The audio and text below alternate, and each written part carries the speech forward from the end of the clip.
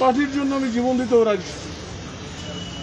আজকে সেই রাজুকে আমরা এইভাবে হারাবো, ভাবতেও পারিনি। ছোটা পনেরোতে পিজিতে নিয়ে যাওয়ার পর পিজি থেকে যদি আট ঘণ্টার মধ্যে আজকে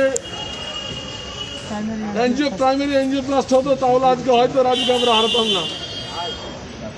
কোনোদিন বলেও নি যে আমার বুকে ব্যথা করছে বা কিছু করছে, কিন্তু পিজিতে যে আধ ঘণ্টা চিকিৎসা না করে রেফার করে ছেড়ে দেওয়ার ওই মাদ্রি যে জাম ছিল। অ্যাপোলোতে গিয়ে তখন বলেছে, দশ মিনিট আগে ডেথ হয়েছে। এটা আমরা খুব মানে এতে আমরা খুব সৌভাগ্যস্ত যে ও কাউকে চিকিৎসা, বাড়ির লোককেও চিকিৎসা করাতে দিল না। সর্বক্ষণ পার্টি পার্টি পার্টি করে গেছে।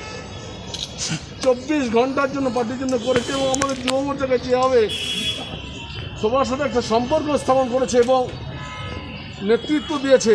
তাদের সত্যি রাজুর মতন ছেলেকে আমরা আজ হারিয়ে ভীষণভাবে ভীষণভাবে দুঃখিত এবং আগামী দিনে আমাদের এরকম রাজু সরকারকে আমরা পাবো না। কিন্তু তার অঙ্গীকার করছি, তার যে স্বপ্ন, সোনার বাংলা, তার যে স্বপ্ন ভারত মাতার সন্তান, সেটা আমরা একদিন করে দেখাবো। আর রাজু, তুমি যেখানে থাকো, ভালো থেকো। তুমি একদিকে আমার পার্টির রাজনৈতিক কর্মী, আর একদিকে আমার খুব ভালো বন্ধু।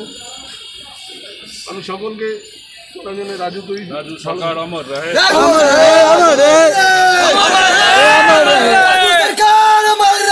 অমর রহে।